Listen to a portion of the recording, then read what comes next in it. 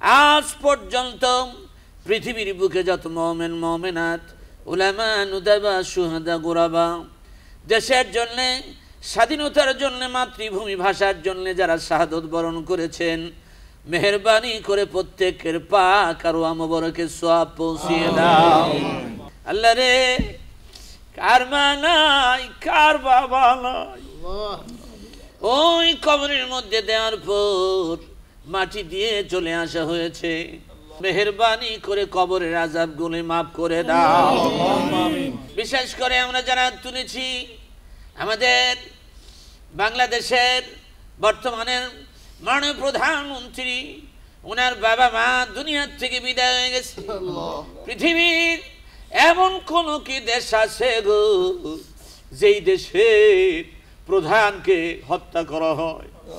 যে দেশের প্রধানকে হত্যা করার পরে তার প্রিয়াতমা স্ত্রীকে হত্যা করা হয়।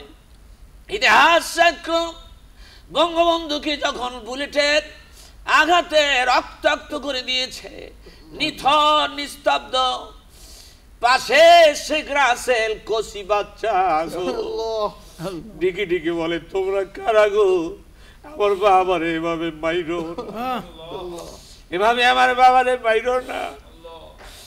বঙ্গবন্ধু শহীদ হয়ে গেলে বঙ্গবন্ধুর প্রিয়তমা স্ত্রী শেখ ফজিলাতুন নিসার কাছে গিয়ে হাজির হয়ে যায়। এই পাষাণ্ড মানুষেরা আমার বাবাকে মারছু আমার মায়ের মাইরো কচি মাসুম বাচ্চা শেখ রাসেল কান্দে। হাতে ধরি পায়ে পড়ি গো বাইরো না আমার মায়ের।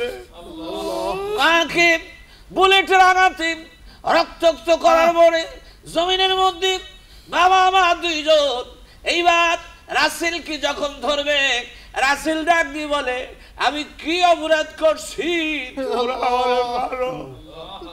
আমি ভালো বুঝি না বন্ধু বুঝি না।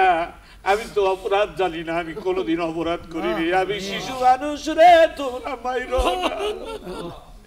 পাষাণ হৃদয়ে মায়া হয় না গো আল্লাহ।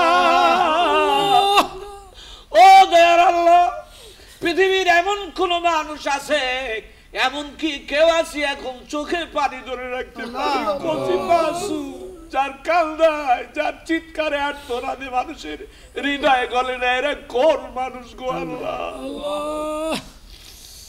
তাকেই দেখো ও দয়ার আল্লাহ। বাংলাদেশ দিনে দিনে উন্নতির চরম শিখর আরোহণ করছে। জাতির জনক বঙ্গবন্ধুর রেখে যাও বাংলাদেশকে তুমি কবলার মঞ্জুর করো। বঙ্গবন্ধুর সাথে যারা আত্মীয় স্বজন পরিবারস্থ আঠারো জন মানুষকে নির্মমভাবে হত্যা করেছে আল্লাহ প্রত্যেককে তুমি শহীদ হিসাবে কবলার মঞ্জুর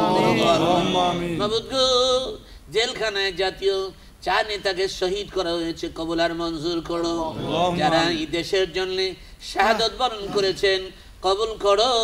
এ দেশকে তুমি খায়রার বরকত দিয়া আল্লাহ এ দেশের ভাবমূর্তিকে পৃথিবীর উপরে উজ্জ্বল করে দাও গো আল্লাহ। মাননীয় প্রধানমন্ত্রীর হাতকে শক্তিশালী করো গো আল্লাহ দান করো। যারা হাত তুলেছি আমরা সকলকে কবুল করো।